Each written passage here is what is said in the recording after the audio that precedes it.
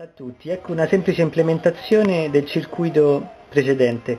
Ho introdotto un piccolo sensore della temperatura, legge i gradi in gradi centigradi.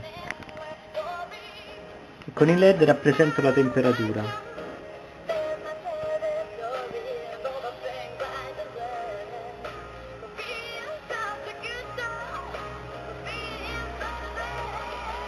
Ecco cosa legge sulla seriale.